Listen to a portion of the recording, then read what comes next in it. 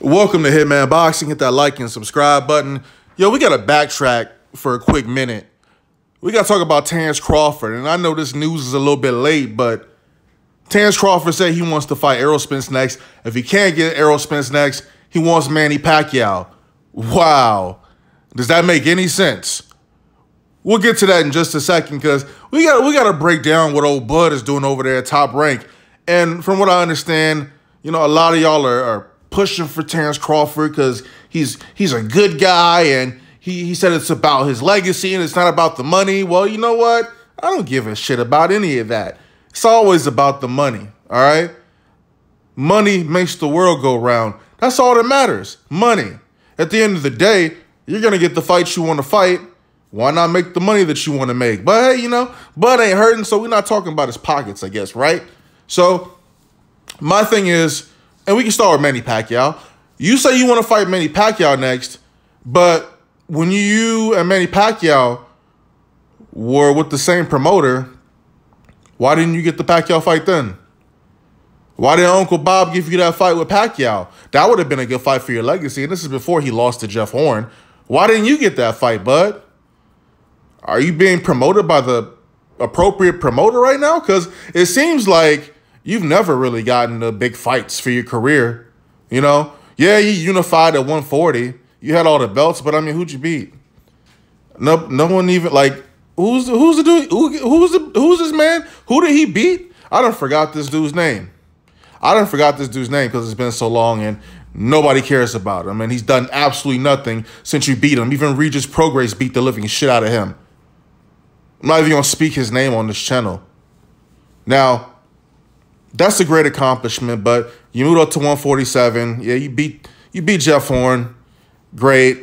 I mean, he, he beat Pacquiao. Personally, I feel like Manny Pacquiao won that fight against Jeff Horn, and they gave it to him because it was over in, in Australia. But you see what happened. To, you know what? I ain't even to do that. I was about to say something real mean, you know. Um, it's messed up what's going on over in Australia, real talk.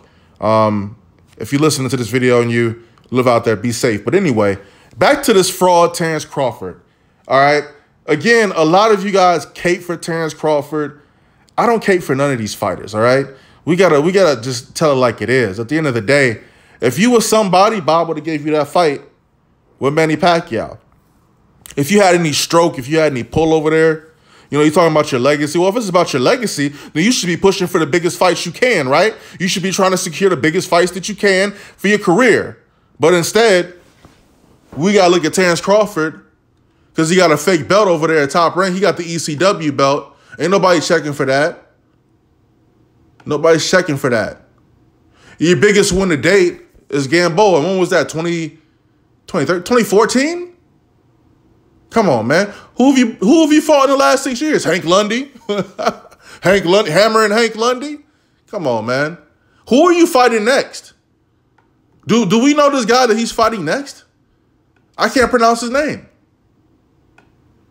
Terence Crawford has made bad decision after bad decision his entire career. You know, you re-signed, you re-signed with uh top rank, you're not getting the fights you want. You know, you're and here's another thing.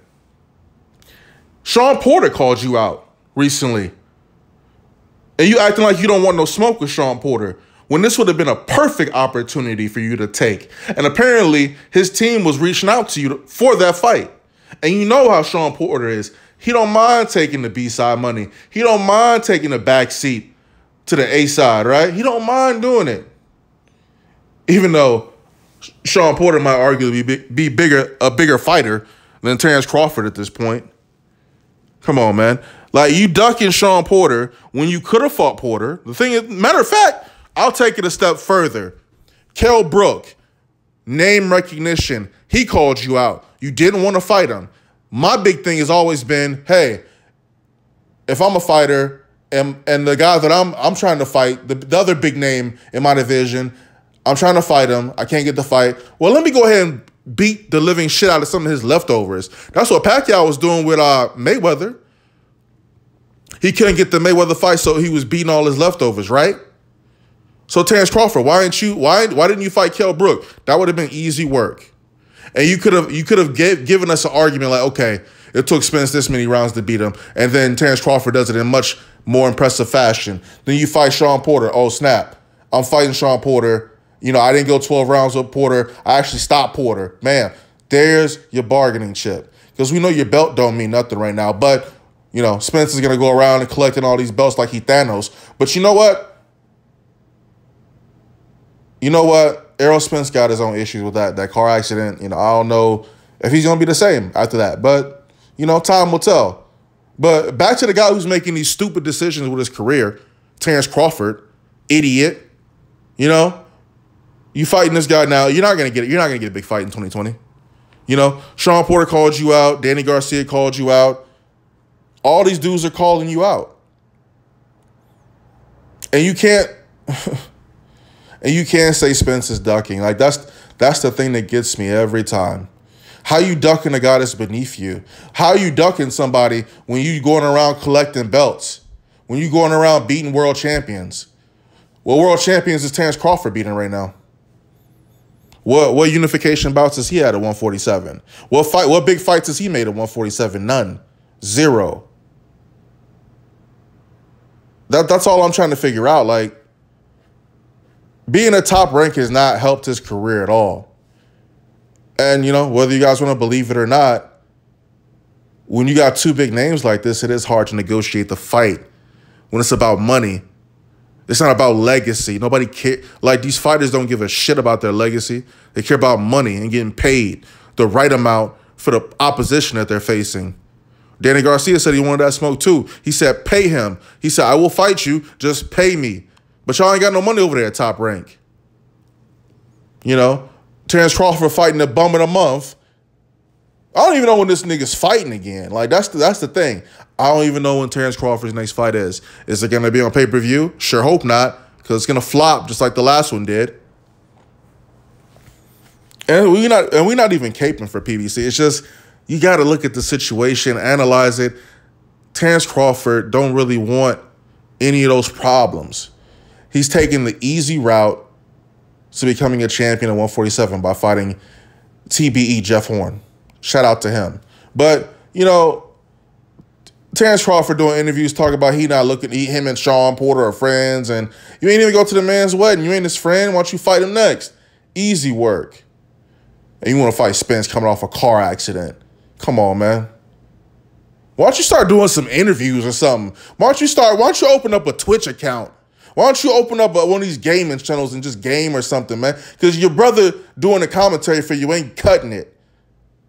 It's, it's not it's not moving me to want to watch a, a Terence Bud Crawford fight when he's fighting the bum. And you got dropped in your last fight. Wait a second. He already fought, he already fought the bum, didn't he? Man, see, that, that just goes to show you, man.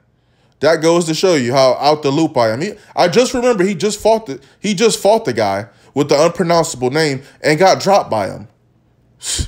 What a joke. Hitman boxing. I'm done talking. I'm done giving Terence Crawford any sort of free publicity. All right. Until he comes out, makes some good moves with his career, and fights one of these PBC guys. Because they're not ducking him. They want to fight him. He don't want to fight them. Hitman boxing. Drop a comment, like the video, subscribe. I'm out.